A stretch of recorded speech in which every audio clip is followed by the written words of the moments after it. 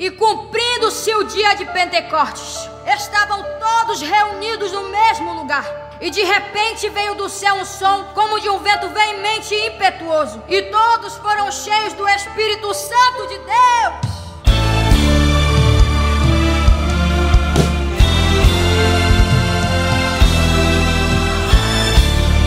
estavam todos reunidos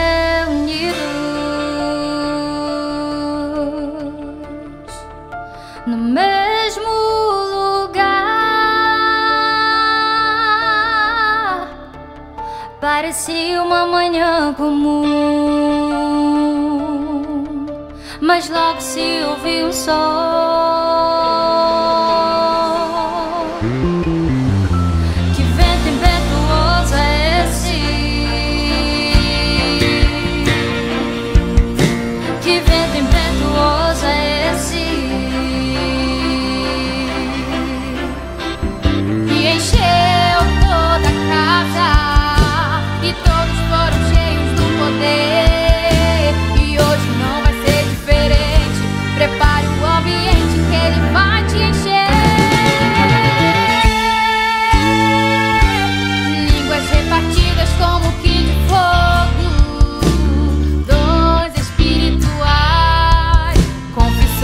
arrependimentos.